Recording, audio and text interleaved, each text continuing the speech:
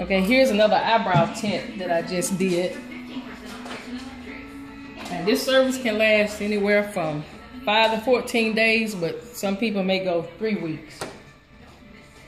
So the first thing I'm going to do is I'm going to start wiping this off. A lot of people think it's just going to stay really dark. And turn this way.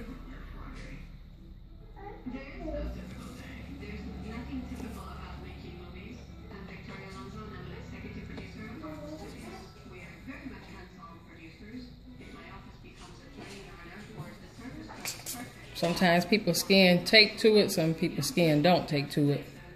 But if it don't, I have Lashville's Brush On Brow Powder. It comes with four different colors. And turn this way. If you can't get your eyebrows microblade or tattoo, if you're afraid of the, uh, needles, this is an alternative to getting your eyebrows filled in or having a much fuller look. Call Miss Lashville at 615-596-1033. And if you want to blink with class, let me tab you with a lash.